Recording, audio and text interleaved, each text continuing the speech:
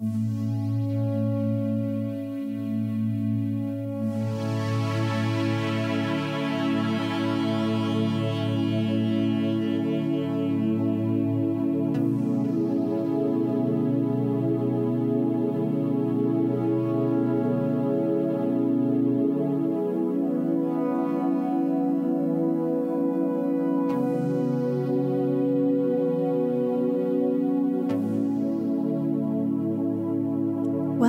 to Snoozecast, the podcast designed to help you fall asleep.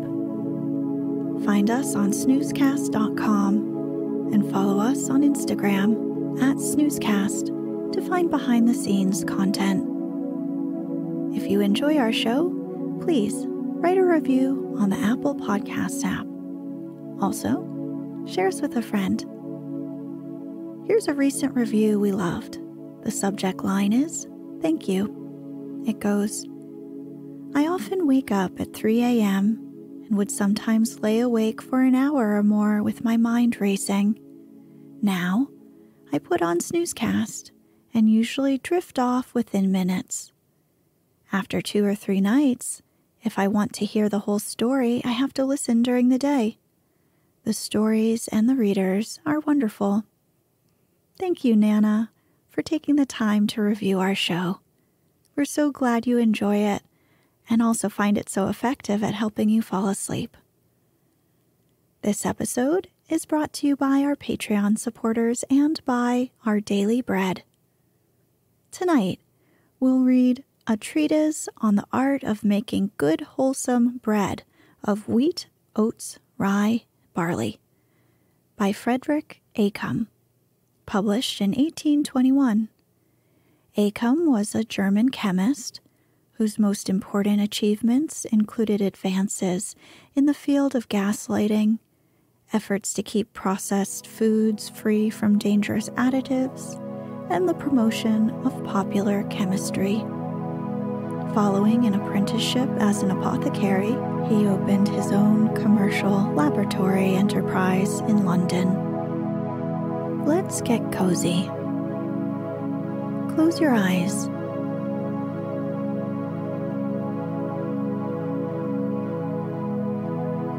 Relax your body into the softness of your bed.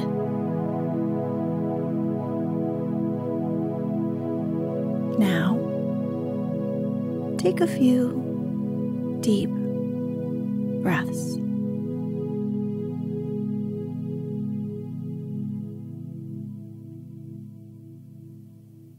Art of making bread. Nothing appears so easy at first sight as to grind grain, to knead the flour with water into dough, and to convert it by baking into porous bread. But, simple as these operations may now appear to us, the art of making loaf bread was by no means one of the earliest among human inventions.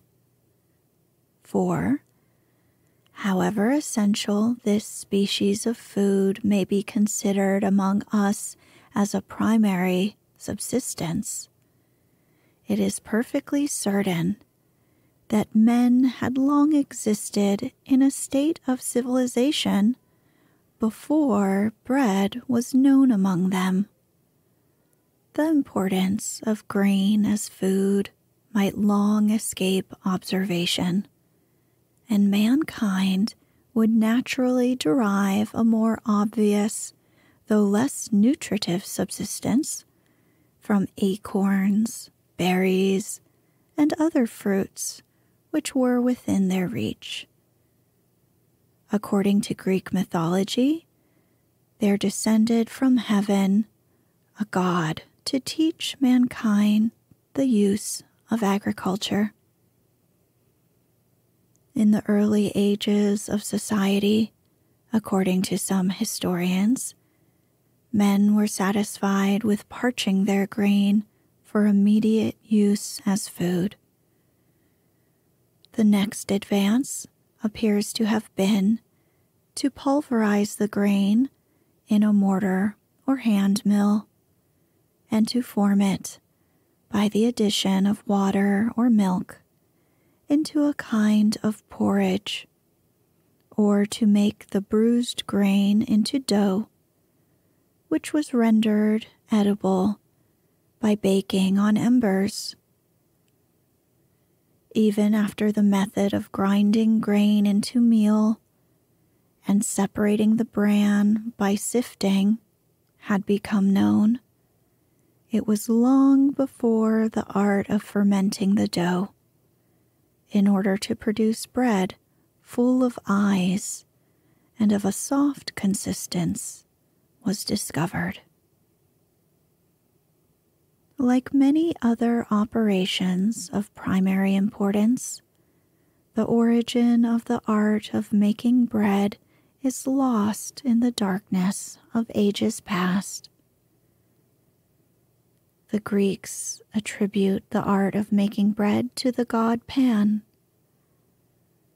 Bakers were unknown in Rome till the year of the city 850, or about 200 years before the Christian era. The Roman bakers came from Greece with the Macedonian army. Before this, the Romans were sometimes called the Eaters of Pap, otherwise known as mush. At the time of Augustus, there were upwards of 300 baking houses in Rome, almost the whole of which were occupied by Greeks. The bakers enjoyed in ancient Rome great privileges.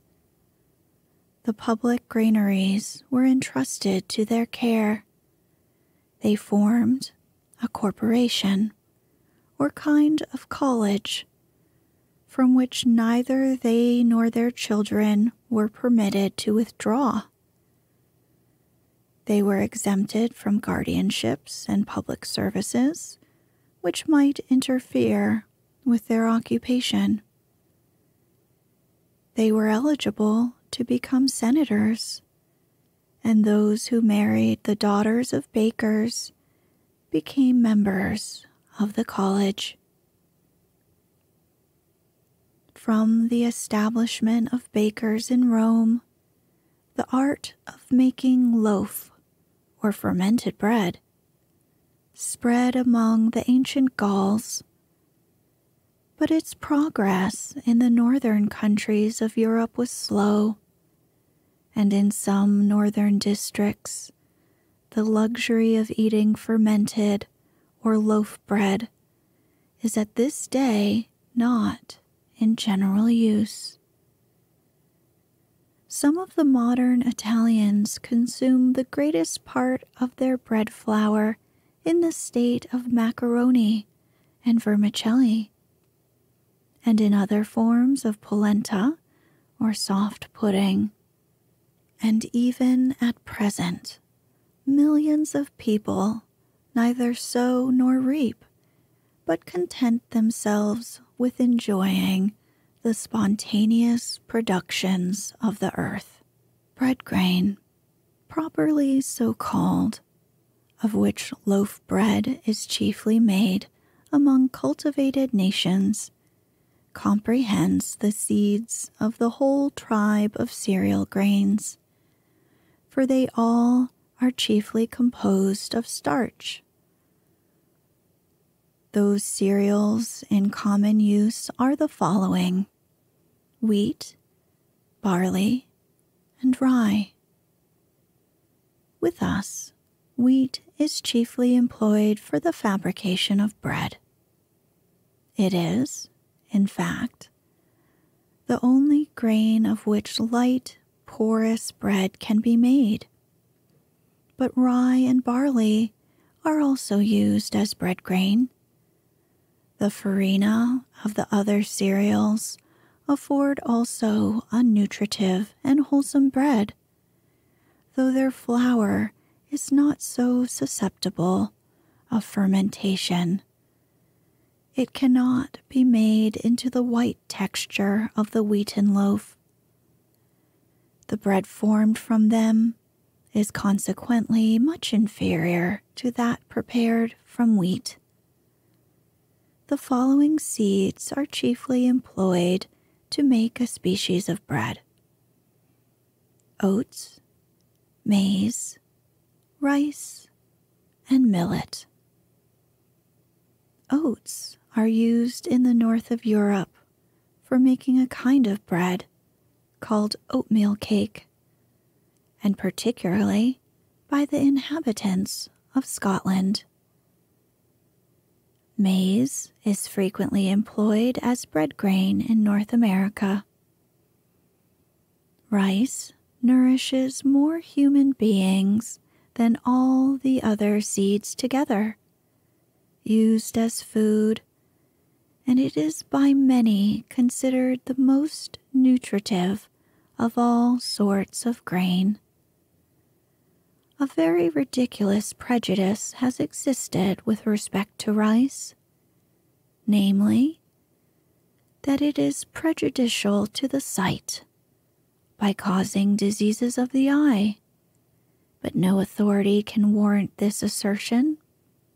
On the contrary, the opinion of the ablest men may be quoted in favor of rice being a very healthy food, and the experience of all Asia and America may be adduced with sufficient weight to have answered this objection if it had been supported by anything more than vulgar prejudice, unsupported by facts.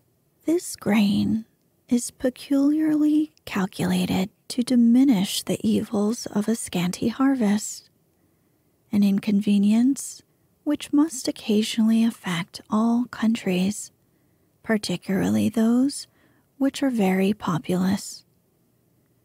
It is the most fitted of all food to be used in relieving general distress in a bad season, because it comes from a part of the world where provisions are abundant. It is light, easy of carriage, keeps well for a long time, and contains a great deal of wholesome food within a small compass. Indeed, it has been ascertained that one part of rice contains as much food and useful nourishment as six of wheat. Next to the cereal grains, the seeds of legumes may be regarded as substitutes for bread grain. Their ripe seeds afford the greatest quantity of food matter. Their meal has a sweetish taste, but they cannot be made into light and porous bread without the addition of a portion of wheat flour. Their meal, however, though it forms but a coarse and indifferent bread, neither very palatable nor very digestible, except by the most robust stomachs, is yet highly nutritive. The legumes employed in the fabrication of bread are peas, beans, kidney beans. Legumes afford a much more agreeable, though not a more nutritive food, when their seeds are used green, young, and tender, and simply boiled than when fully ripened and their flour baked. The potato is a substance largely employed as a substitute for bread. Its nutritious qualities are fully ascertained by the experience of all Europe. It makes a considerable portion of the food of the poor, and in Ireland, in particular, millions of people exist who, from sufficient evidence, we are pretty certain live for years together almost wholly on this root and water, without any other seasoning than a little salt. It contains much starch, and when mixed with wheat flour, may be formed into good and palatable bread. Other substances, besides the grains before mentioned, are in different parts of the world substituted for bread. These are the following the breadfruit. The breadfruit tree affords the inhabitants of the South Pacific Ocean a substance resembling bread. They only climb the tree to gather the fruit, which is of a round shape, from five to six inches in diameter. It grows on boughs like apples, and when quite ripe, is of a yellowish color. The breadfruit has a tough, reticulated rind. There is neither seed nor stone in the inside of it. The edible part, which lies between the skin and the core, is as white as snow and of the consistence of new bread. The fruit is roasted on embers or baked in an oven, which scorches the rind and turns it black. This is rasped off, and there remains a thin white crust, while the inside is soft and white like crumbs of fine loaf bread. It is eaten new, for if it is kept longer than 24 hours, it becomes harsh and unpalatable.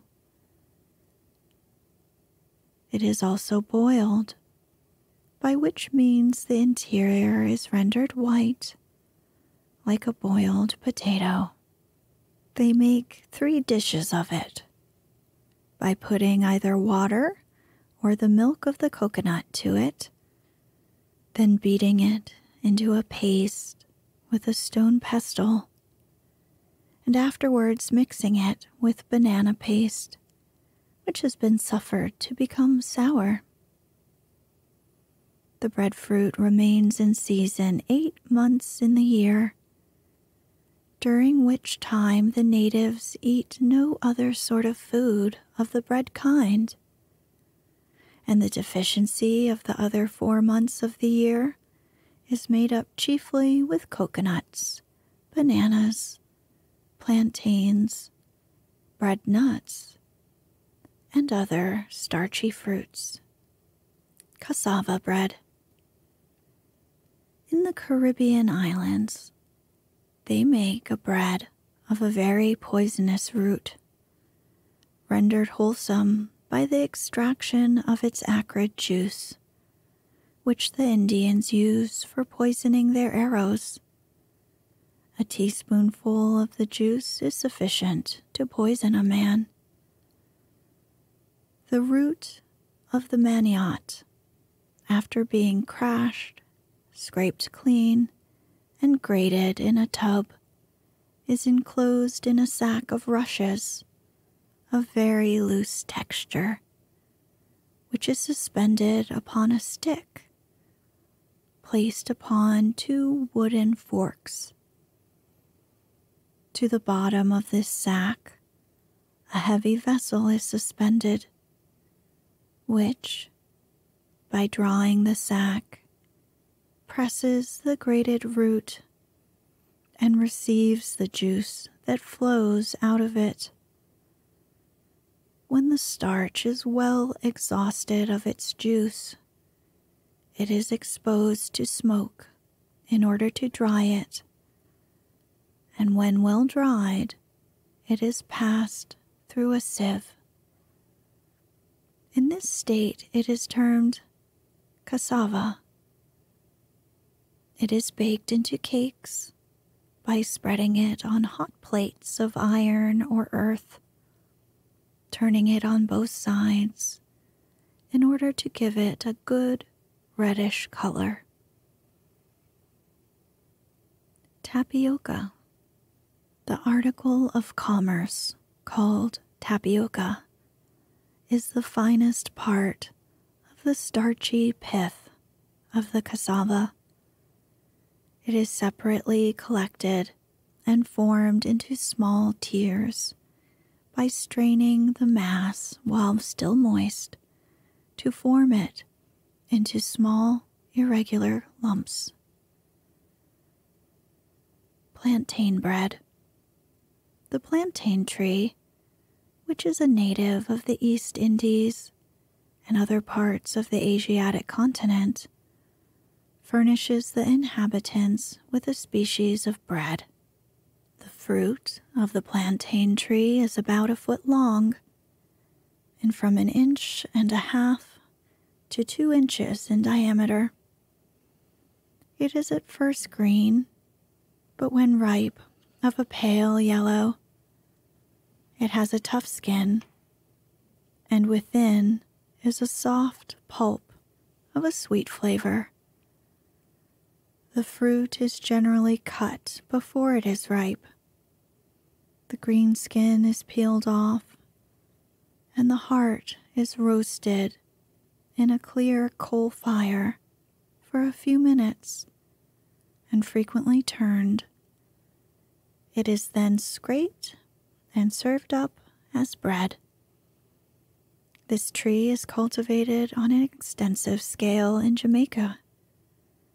Without this fruit, the islands would be scarcely inhabitable, as no species of provisions could supply its place. Banana bread. The fruit of the banana tree differs from the preceding, being shorter, straighter, and rounder. It is about four or five inches long, of the shape of a cucumber, and of a highly grateful flavor. Bananas grow in bunches that weigh 12 pounds and upwards. This fruit yields a softer pulp than the plantain tree and of a more luscious taste. It is never eaten green, but when ripe is a very pleasant food, either raw or fried in slices like fritters. It is relished by all ranks of people in the West Indies when the natives of the West Indies undertake a voyage, they take the ripe fruit of the banana and make provisions of the paste, and, having squeezed it through a sieve, form the mass into loaves, which are dried in the sun or baked on hot ashes after being previously wrapped up in leaves bread of dried fish. The Laplanders, who have no grain of their own, make a kind of bread of the inner soft bark of a pine tree, either mixed with the coarsest barley meal or with dried fish beaten into powder. The bark is collected when the sap is rising. It is afterwards dried in the sun or over a slow fire. The poorer people grind the chaff and even some of the straw along with the barley. Another kind of bread is made of dried fish and the root of the water dragon the root is taken up in the spring before the leaves shoot out. It is dried, pounded, and boiled till it becomes thick, and after standing three or four days to lose its bitterness, it is mixed with the powder of dried fish and the inner bark of the pine tree and then made into a stiff paste and baked over embers. bread made of moss. Some species of the tribe of lichen contain a considerable portion of starch, as in reindeer moss, which affords food to the stags and other fallow cattle of the north of Europe. The Icelanders form the lichen into bread, which is found to be extremely nutritious. The moss is collected in the summer and, when dry, ground into powder, of which bread and gruel are made. It is sometimes also put whole into broth or is boiled in whey till it be converted into a jelly. In general, it is either previously steeped for some hours in warm water, or the water of the first boiling is rejected in order to remove a part of the bitter extractive matter, which, if left, produces a disagreeable taste and is apt to prove purgative. Bread made of earth. The strangest substitute for bread that has ever been employed is a sort of white earth. The earth is dug out of a pit where saltpeter has formed and been worked. When exposed to the rays of the sun, it splits and cracks, and small globules issue from it like meal, which ferments when mixed with flour. On this earth, baked into bread, many persons have subsisted a considerable time. A similar earth is met with in Catalonia. The rowers also, who ply the river Mississippi, frequently drink large quantities of muddy water, which cannot fail to leave in the stomach a considerable quantity of earth. But it cannot be doubted that a large quantity of earthy substances taken into the stomach would prove deleterious to health. Unleavened bread. Bread prepared by baking from the meal of starchy seeds kneaded with water into a dough and baked is divided into three sorts, namely 1. Unleavened bread, 2. Leavened bread, and 3. Bread made with yeast. Unleavened bread contains all the component parts of the flour, but little altered. The meal is simply mixed with water and baked into cakes. It is heavy, dry, friable, and not porous.